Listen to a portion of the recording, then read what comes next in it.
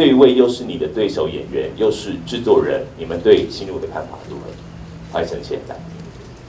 呃，因为我这次应该最主要都是跟新武这边对对戏的。嗯那我觉得，呃，新武他在现场，其实他不会要求你要怎么去表现，嗯他就让你即兴的发挥。那我觉得其实跟心如对戏有一个很大的好处是，其实对于我来讲，我很轻松，嗯。因为我只要直接就顺着心如他丢给我的情绪，我去表现就好。表现出来。对对对，那其实我我在那时候呃在现场，我有跟心如说，我说如果他觉得我有哪里表现的觉得不 OK，嗯。请他直接跟我讲，嗯，对，直接告诉我，直接做调整。是。那其实他会跟我说，那现在很好啊，你就照你的感觉去去去去表很现给演员空间。对对对，所以其实我觉得这样子的表现出来，在整个的表现上面会更自然。嗯，那君主觉得我这一次其实很多次了哈。但这一次在我的妈妈倒是第一次跟她没有对手戏。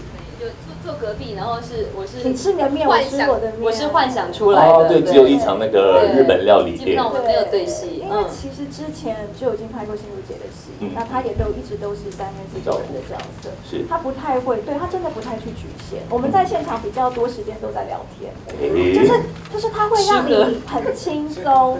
她不会真的用一个很严格的态度去跟你研究说我们等一下那个戏怎么演，我觉得你要怎么样，嗯倒不会，是她会让你她的合作的演员都很轻松很。轻松。嗯，来，银轩呢？